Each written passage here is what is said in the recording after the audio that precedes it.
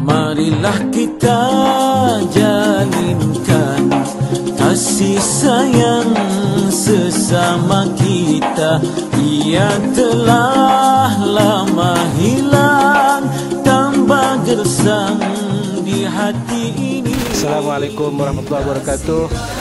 Uh, hari ini kami berada di stesen 1 Bandar Baru Bangi dalam program uh, Anda di Hati Kami untuk menyatakan bahawa uh, kita adalah uh, mereka yang sentiasa uh, menyanjungi mereka yang telah memberikan sumbangan kepada masyarakat.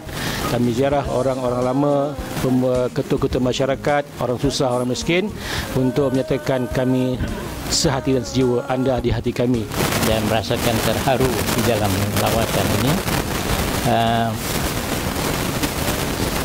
berarti antara kita manusia ini ada hati yang sangat uh, sangat terkesan di dalam hati meng, uh, itu mengenang jasa-jasa seseorang.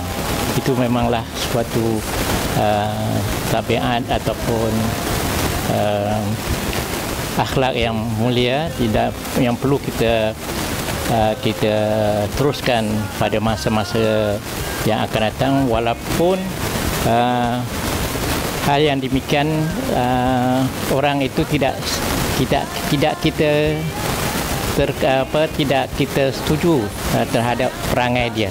Jadi saya sungguh-sungguh Allah letakkan saya di mana baru bangi ini Memang saya sangat bersyukur. Kalaulah saya duduk di kampung saya Tak tahulah apa yang jadi. Dapat kuasa Kita guna kuasa untuk Kepentingan rakyat. Ini satu usaha yang sangat baik. Uh, bukan kerana saya eh, bukan kerana saya tetapi saya rasa silaturahim itu. Silaturahim dan saya harap YB akan teruslah me, melakukan usaha-usaha seperti ini macam kita kata turun padang lah.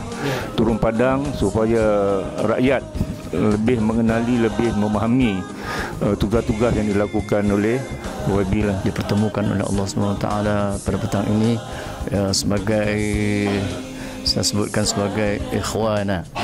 Bukan sahabat bukan kawan. Tetapi ikhwana. Uh, saudara. Saudara yang lebih rapat lagi daripada kawan lebih rapat daripada sahabat. Saudara sakit cubit paha kanan paha kiri terasa sakit. Nah, tu. jadi program ini sangatlah uh, baik dan kami sekeluarga mengucapkan terima kasih khusus kepada YB uh, yang telah uh, menyusun program yang cukup baik untuk merapatkan uh, hubungan antara pemimpin dan juga rakyat uh, yang ada di kawasan Dewan Undangan uh, Bangi ini. Pertama sekali saya ucap terima kasih kerana uh, sudi datang uh, ke rumah uh, saya pada petang ini. Jadi kita harap apa ini dengan pemulihan peringkat negeri akan memberi kesan ke peringkat kawasan-kawasan. Saya ingat bahagian kawasan kita tak ada masalah sangat. Eh. Dia macam kita ikut kepala kereta api lah.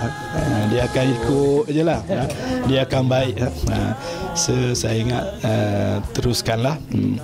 Tapi saya sebenarnya saya lebih sekarang tumpu kepada kegiatan yang bersifat apa ni kebajikan lah. Ha, sebagaimana saudara ta- ta- boleh tengok lalu tadi saya tumpu 100% tenaga kepada pembinaan masjid sebab saya yang uh, pengurusi masjid. Selain daripada itu kerja biasa saya lah yang saya rasa saya tak dapat pisahkan tiap-tiap hari saya menulis ha. dan ini bukan baru benda ini berterusan ha kerja yang tu saya apa ni lakukan. Anda di hati kami. Assalamualaikum. Semua manusia.